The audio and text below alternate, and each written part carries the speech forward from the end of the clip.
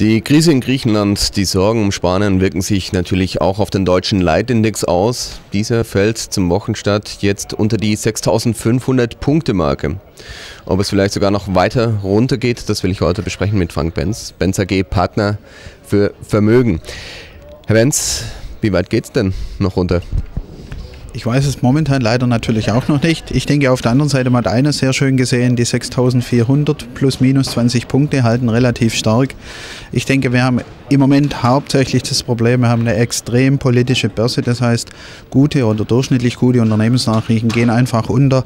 Allein von der Charttechnik wird es sicher ganz spannend, wenn wir irgendwann unter 6,4 laufen oder Richtung 6,2 gehen, dann muss man sich sicherlich ein bisschen wärmer anziehen wie heute. Ansonsten denke ich, man muss mal abwarten, was die kurze Woche noch bringt aus Griechenland, aus Europa und aus der Unternehmenswelt.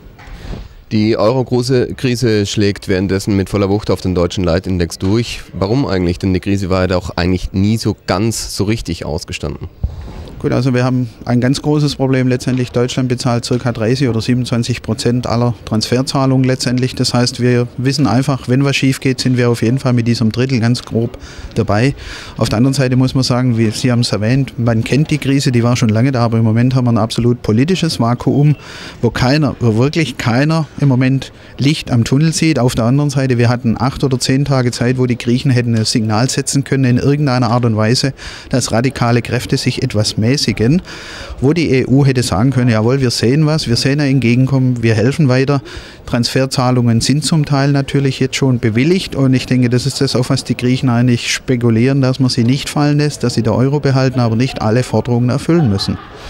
Währenddessen reicht, äh, reist der Bund Future von einem Hoch zum nächsten. Heute wieder ein neues Allzeithoch. Die 143-Marke wurde jetzt schon des Öfteren geknackt.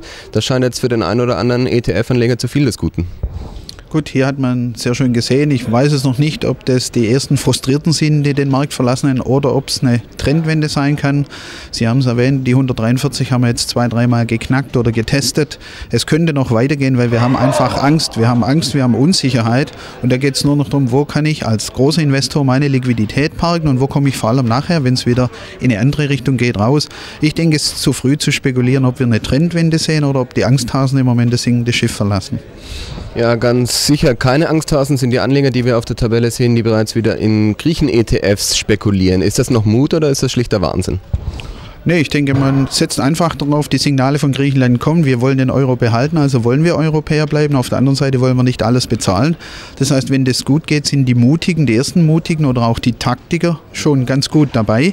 Im anderen Fall haben sie natürlich Pech oder können den Teil oder einen Teil ihres Einsatzes verlieren auf denke einfach, das muss jeder Anleger für sich entscheiden. Ich denke, es ist zu früh, so mutig zu sein.